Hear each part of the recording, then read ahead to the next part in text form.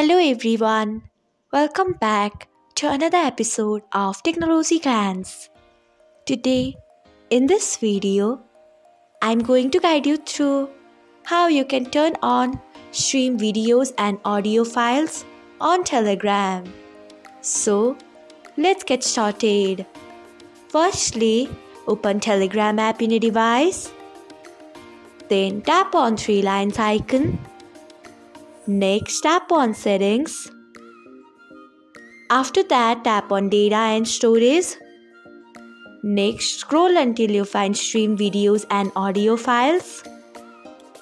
Then turn on it by tapping on it.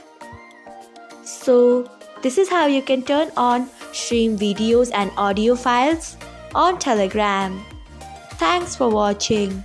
If you found this guide helpful, we would love it if you hit the thumbs up button below.